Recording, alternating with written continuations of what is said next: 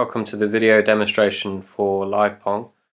LivePong is a generative sequencer built in Max for Live. This is the device here. It lets you generate MIDI notes that will trigger a instrument in Live. Um, the main way we interact with the device is this square area here. So we just make sure Live is playing. Just click anywhere with the mouse and we generate a cell and the cell moves back and forth or up and down in a ping pong style, hence the name. Whenever the cell hits the left or right column or the top or bottom row, it generates a note. Where it gets more interesting is if we have more than one cell active. So we can click again and you'll see they bounce off each other, changing their direction.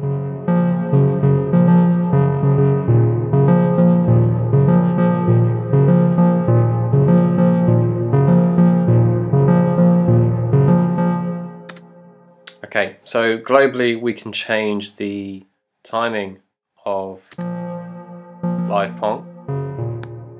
So we can make it faster, slower.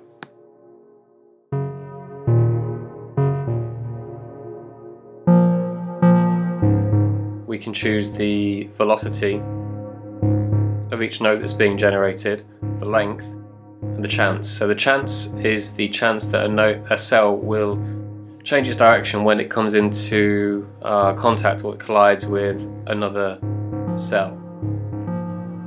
So at this point 100% means they will always change their direction. Zero, they'll just run through each other. And then anywhere in between and you start to get more varied uh, degrees of whether they're going to actually collide and change direction or not.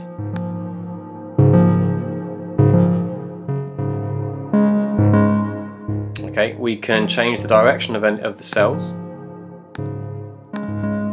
We can randomize the cells. This changes the current location of the active cells.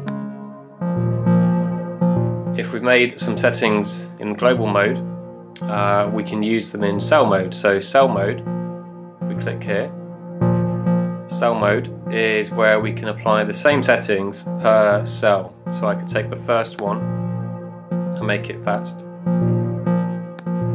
But less chance of it bouncing. The second one I could change the velocity. The third one I could make quite slow. Again change the chance.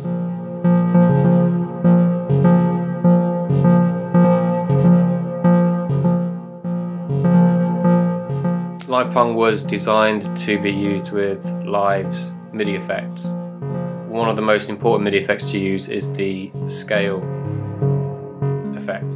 This will force any notes generated by Live LivePong into a, a scale that's uh, going to work for the project you're in and it gives you access to all of the scale presets available.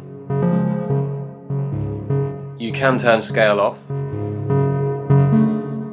and if you want to edit the notes coming straight out of LivePong we can do that. Click edit notes and we see this grid and this allows us to choose which notes are being generated by LivePong. We can either click and drag up and down to choose the notes or we can set a minimum and a maximum note range and then we can populate these note numbers either sequentially or randomly.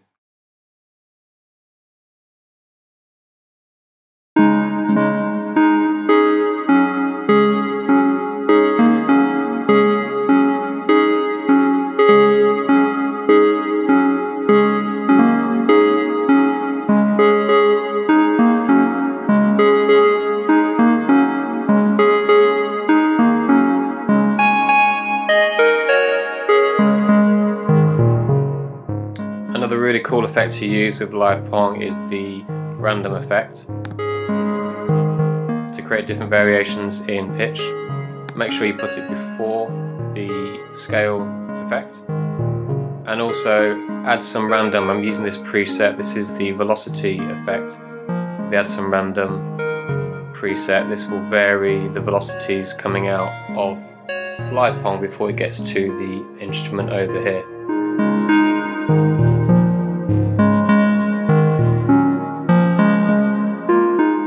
Live pong can be even more interesting when you have a, a couple of instances of it running in live. So I have a second one here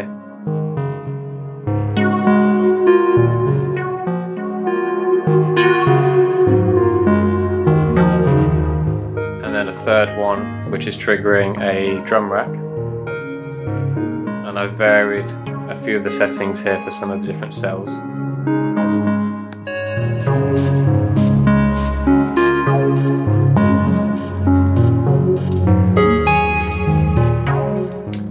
Have eight cells in total. You can turn them off here and then clicking in again on this square area will reactivate any inactive cells. Once all cells are active, clicking in this area regenerates one of the previous cells starting at 1 from the new area. Like so.